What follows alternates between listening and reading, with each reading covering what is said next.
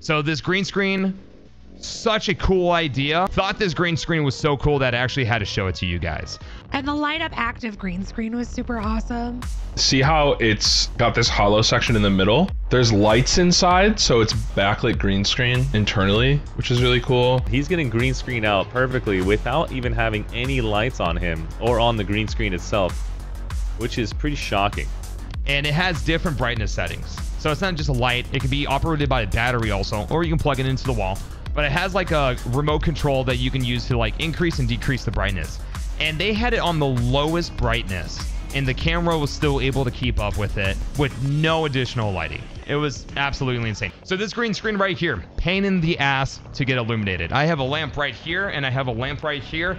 I have a light right here and I have a light right here. So I'm using four total lights to illuminate myself and the green screen. So here's the game changer when it comes to green screens. This is a green screen that is self-luminated. So he was streaming in the dark, no problems with the green screen whatsoever. And I thought the camera was really cool.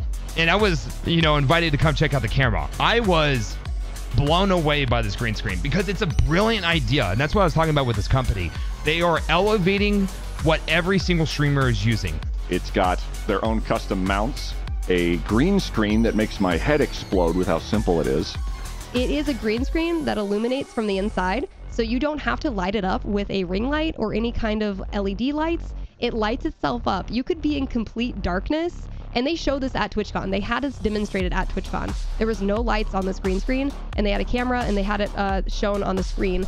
And it was a perfect cutout. It was perfectly green screen. This thing's only $600, so it's honestly another thing that I would honestly uh, really think about investing in. Even as an actor, like it's really cool. Really, really cool.